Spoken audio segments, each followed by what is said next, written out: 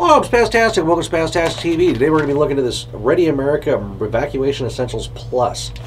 Now, since me standing here and talking about it would be boring, let's just go ahead and jump over to the TV dinner tray. So, uh, jump cut. Alright, now let's find out what exactly do you get in the Evacuation Essentials Plus. I mean, it has a list of contents on the back of it, but that'd be boring, so let's go ahead and let's rip her open. I'm actually amazed that cut as easily as it did.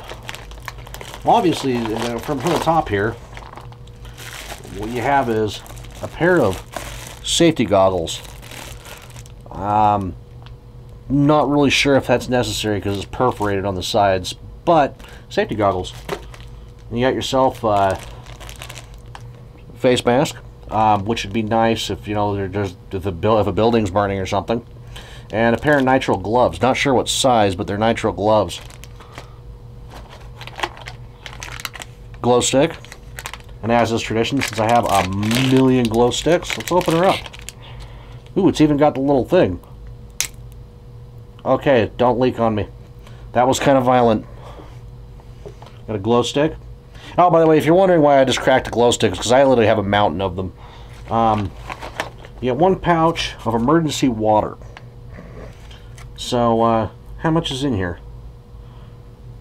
Four and a quarter fluid ounces or 125 milliliters, but it's from Mayday. Some pocket tissues. Take that glow stick. A whistle. So, as is tradition on this channel, gotta get the whistle out. If I can. Blow your eardrums out a little bit right there because of the whistle an emergency survival blanket. Now, there's one, I'll talk about what I think about this here in a little while. And a Millennium emergency ration bar with tropical fruits. And what else does it come with in here? It come with uh, important medical contact card contact and uh, expiration reminder where you can register now in case your kit runs out. But this is all stuff that you can pick up for surprisingly cheap.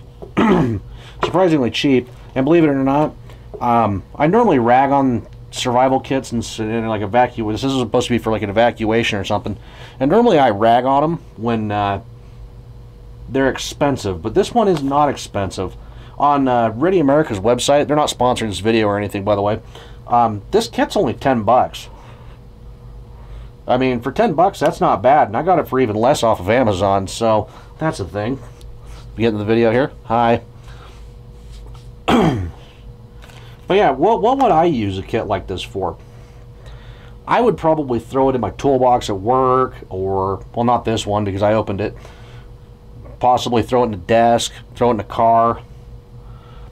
Just something random just for you to have around. And for the low price point, I would recommend it, actually. I'll put a link to uh, this thing down in the description. But yeah, these little Millennium bars are great, and this little kit, not the greatest thing on the planet, but better than nothing. But anyway, I'm Spaztastic, you're watching Spaztastic TV, and thank you for watching. Hopefully this video was coherent.